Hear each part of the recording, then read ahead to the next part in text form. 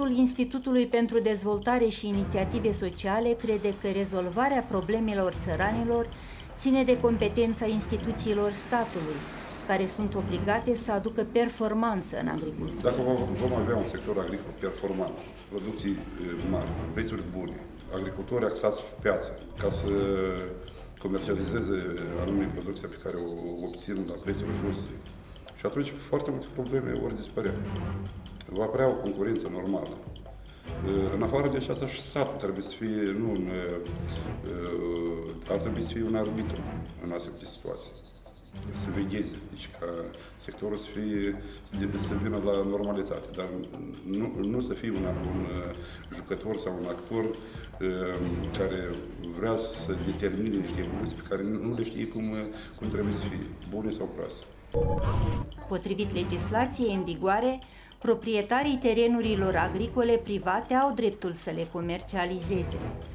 Datele statistice arată că, în prezent, prețul de piață al pământului este relativ redus. Prețul mediu al unui hectar de pământ a fost de 10.000 de lei în 2008, față de 12.000 de lei în 2007.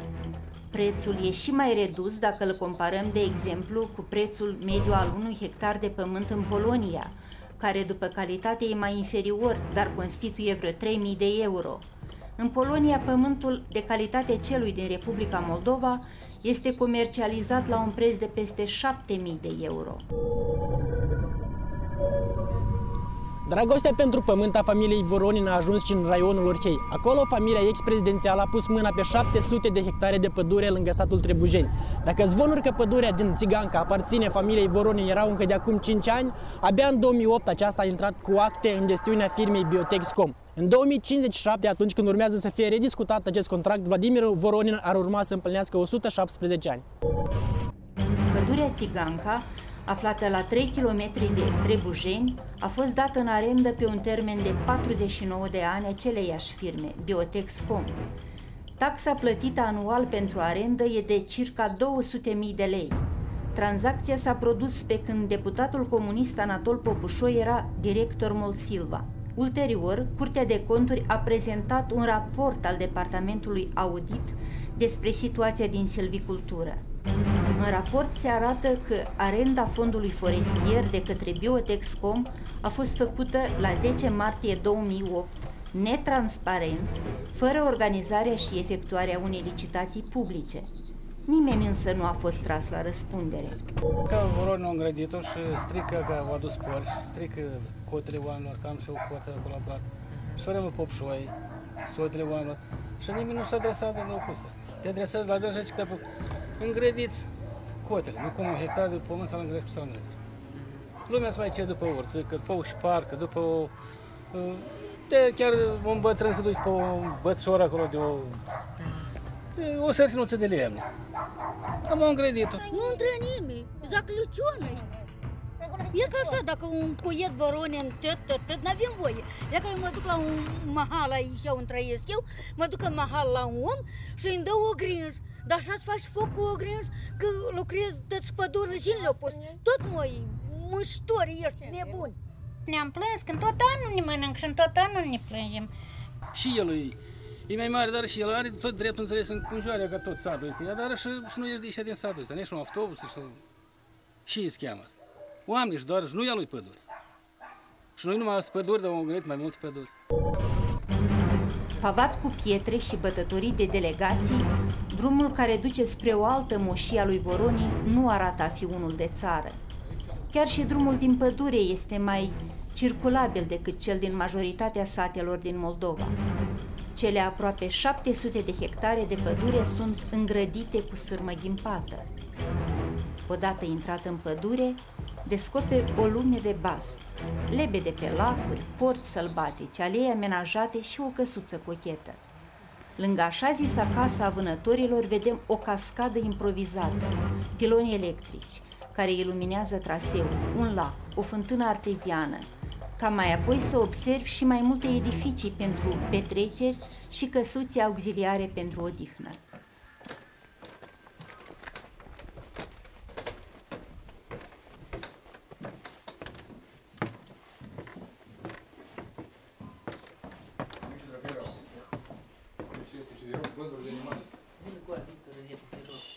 Victor de Băzai.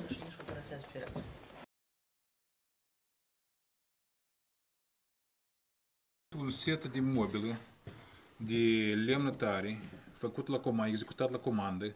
Aici este că, așa numită cameră de dezgustație. De obicei, după vânătoare, se adună oaspeții, sala asta de petrecere. Aici e o sală mai mică, dar în partea asta este o sală mai mare. Sus sunt dormitoarele, iar uh, jos e o saună. E foarte interesant. Iată o piele de urs, jos așternut.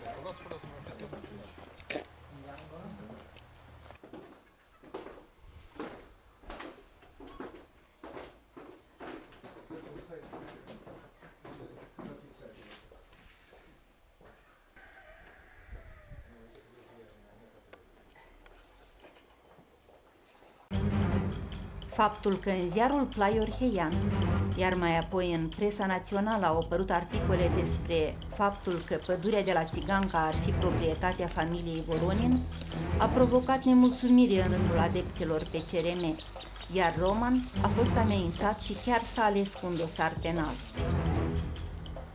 Adică în 2007, fiind ales ca consilier regional, mi s-a spus că, din partea legătorilor, că pădurea țigancă, adică 700 hectare de pădure, au fost privatizate de familia Voronin. Era un fapt cam incredibil. Cum așa o pădure poate fi privatizată? N-am crezut în uh, această versiune, dar uh, fiind ca consilier regional, am organizat uh, o comisie din consilierii regionali, tot să vedem ce se petrece în această pădure. Deci, undeva la, pe la 2 august 2007, am venit pentru prima dată aici la pădure și am rămas cumva, eu știu, m-am mirat singur de cele ce se întâmplă aici. Toată pădurea era înconjurată de sârmă înghimpată. Mi s-a spus că un batalion de ostași armate naționale, pe parcursul jumătate de an, au muncit aici și au împrejmuit întreaga pădure de 700 hectare cu sârmă înghimpată.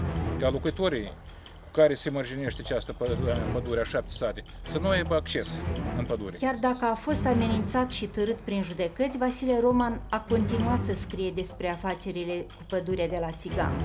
Amenințările acestea uh, au fost uh, apoi realizate în viață. În 7 decembrie 2007, uh, de către reprezentanții Comisariatului de Poliție, mi s-au plasat trei grenade într-un frigider și o mină s-a plasat sub roata unei mașini la un imobil care îmi aparține, dar nu era păzit, era un imobil care avea acces practic mai multe persoane acolo și gestionau alte persoane. După aceasta, 2 ani și 7 luni am fost purtat prin judecată cu toate că acest dosar penal care mi s-a intentat pentru păstrarea muniților nu, nu avea nicio probă că munițiile, munițiile cele de război îmi aparțineau mie. Mi-au fost păsate din cazul că sunt veteran de război. Vasile Roman, ales deja pentru al treilea mandat consilier raional de Orhei, spune că lucrările din interiorul pădurii au fost efectuate exclusiv pe banii statului. Am constatat că o mulțime de construcții aici la Țigancă sunt înălțate fără a avea un document de proveniență, fără o, o autorizație de construcție. Acolo, în deal, mai la deal de acest conat al lui Voroni, care se spune azi deschis, s-au mai înălțat câteva construcții, anume pentru creșterea păsărilor, o casă așa numită Casa Pădurarului și așa mai departe. Majoritatea construcției s-au făcut pe banii statului s-au executat, nu pe banii la Biotexcom care gestionează actualmente aceste hectare de pădure. Numai gospodăria silvică din Orhei a fost prejudiciată cu circa 4 milioane de lei. Investigațiile din presă au fost preluate ulterior de procuratură, care a intentat un dosar penal pentru abuz de putere.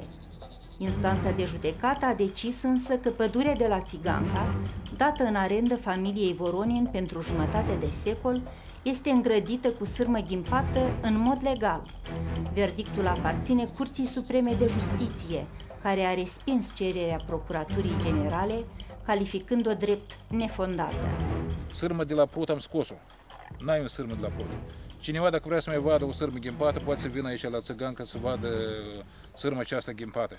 Sârma trebuie să fie scoasă de aici. Trebuie ca pădurea să aparțină într-adevăr oamenilor din jur, poporului, ca să se bucure de bogățiile acestei păduri, ca să se poată odihni și ei aici, pentru că a devenit un loc care se odihnesc numai cei din anturajul familiei Voroni.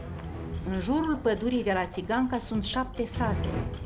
Locuitorii de aici sunt indignați de faptul că familia Voronin și-a făcut moșie din pădurea statului.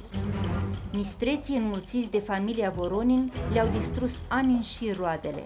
Dar ea ca Voronin au îngrădit-o și strică că au adus porci, strică cotele oamenilor, că am și o cotă acolo aproape. Și fără mă popșoi, sotele oamenilor. Și nimeni nu se adresează în locul ăsta. Te adresează la dânsa și că îngrădiți cotele, nu cum un hectar de pământ să-l îngrădești sau nu. Lumea se mai ce după urță, că pe și parcă, după o... De chiar un bătrân să duci pe un bătșor acolo de o... de O sărținuță de lemne. Am o îngrădit-o, dar pentru ce o îngrădit-o, de ce o îngrădit-o? Că el a luat un, zice că a luat o arendă. Dar cui trebuie și lucrul ăsta? Pădurea și nu i-a Dar mai înainte cum era? Măi, înainte era liber, ce lumea după șperce, după burian, după o urzic acolo este pe matca și omul a făcut iază, a făcut, a îngrădit, omul, omul nu se poate duce nicăieri. Bă, dacă ați încercat să vă duceți acolo? Dar nu și, și numai stea odă că gata, vin prin prejur cu motocicli, cu mașini, înțeles, te înconjurează, înțeles, parcă și prin vremea război nu era așa. Ce schema este? Și el are tot dreptul, înțeles, în conjoare ca tot satul este, dar și, și nu ești de ieșit din satul ăsta, nici un autobuz, și Cu făcut acolo, divane, un tap masivul oamenilor, divane, Porci, da? da. Nu porci, porci au intrat, ei sunt mai mari porci. Ești cu două cșoare. Și ce au făcut? Ia-mi spuneți ce a Au intrat, mai scot pădurea, s-au mânduit de la vale, au intrat în masivul Aha, oamenilor. Adică au luat mai mult pământ de acolo. Da, au luat după pădure la vale, așa. Este țigancă o proprietate a familiei E în arendă uh, țigancă. E dată în arendă, dar nu e dată în proprietate. Dar de când e de Pe cât termen? Mm, De 3, de 4 ani, așa ceva. Până când? Poate Până când? Pentru cât timp? ori pe 29 de ani. Ori pe 99? Nu, nu, nu, nu. 99 de ani îmi pare că nimeni nu are nimic în arendă. Pe 29 de ani îmi pare, da. Ori pe 49, nu, nu sunt minte. Biotexcom este una dintre numeroasele firme care aparțin familiei Voronin. Prin intermediul acesteia, familia ex-președintelui a derulat mai multe afaceri de la 2001 încoace. Deși niciunul dintre membrii familiei nu figurează printre fondatori, recent, fostul șef al statului a recunoscut că firma le aparține. Biotexcom are acțiuni la Fincom Bank, a cărei președinte este Oleg Voronin, și activează pe aceeași adresă, Vasile Alexandri 79, unde figurează și celelalte firme ale familiei sale. La Camera Înregistrării de Stat am aflat că Biotexcom are doi fondatori, Margareta Malcoci și Angela Scripcaru, soția lui Ghenadie Scripcaru, fostul bodyguard al lui Voronin, asasinat în anul 2008. Prima deține 85% din fondul statutar și este administratoarea firmei.